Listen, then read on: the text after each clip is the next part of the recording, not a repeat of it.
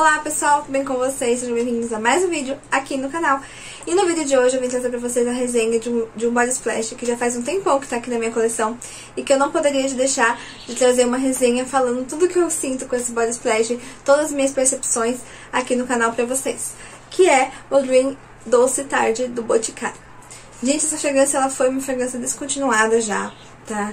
É, só que eu queria trazer aqui pra poder falar pra vocês tudo que eu acho e que ainda encontra ele pra comprar. Gente, eu, eu vi ainda essa semana que ele ainda está à venda no, na Shopee. E no Mercado Livre, alguns, algumas lojinhas né, do Mercado Livre você ainda encontra. Então, assim, eu já não ia trazer mais resenha dele, eu ia trazer só nos adinhos da semana. Então, eu preferi, é, optei por trazer uma resenha pra vocês, pra poder falar o que eu sinto dele, que de repente vai que vocês acham, né, pra comprar aí e querem saber certinho como é a fragrância. Gente, que delícia de fragrância. Eu acho, assim, uma pena o Boticário ter descontinuado essa fragrância. Tantos perfumes aí que nem, né, são tão simples aí pra poder descontinuar, que muitas pessoas nem se importam tanto. E eles descontinuam, descontinuam os perfumes mais queridinhos do pessoal aí, né, gente? Eu me apaixonei com esse perfume, a primeira borrifada. Foi um dos primeiros da linha que eu comprei.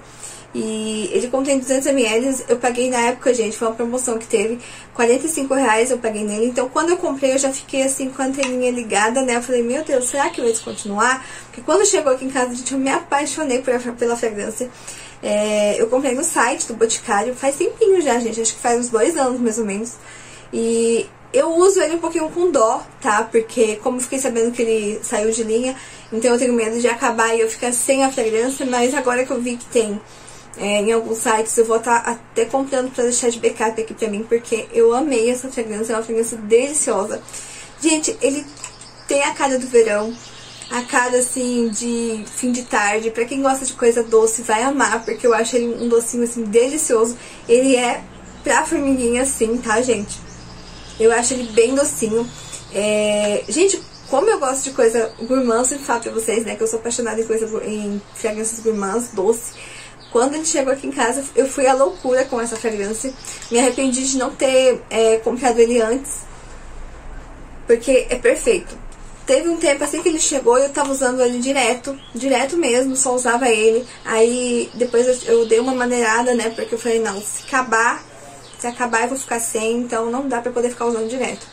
Mas sempre que me bate a saudade eu pego ele pra usar. Delicioso, tá gente? Ele tem um, um açúcar caramelizado aqui tá? Não fala nas notas, mas eu consigo sentir algo meio caramelizado, uma açúcar, uma pera caramelizada.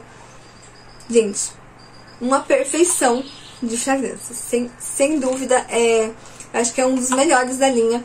É, eu gosto muito de, de, da linha Dream, né, do Boticário. Eu tenho todos aqui na minha coleção. Mas esse aqui, ele me conquistou de um jeito, assim, que vai deixar muita saudade, sério. É, e eu acredito que muita gente aí é apaixonada nessa fragrância que vai sentir falta dele, né? É, eu acho o custo-benefício, eu achei, né, que foi muito bom, porque 45 reais que eu paguei e ele 200 ml. Eu vi na Shopee por 60 reais, 69, não, foi 67 reais eu vi na Shopee. Então ainda está no preço legal, né? E eu vou falar um pouquinho das notas que eu tirei lá no site da Fragrantica pra vocês, tá bom?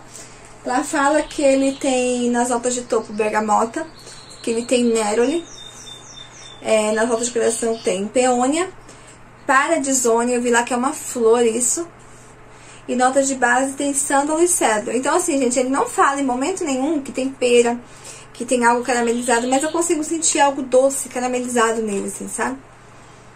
Muito, muito gostoso. Ele tem uma flor aqui que acredito que deve ser da peônia, muito gostoso.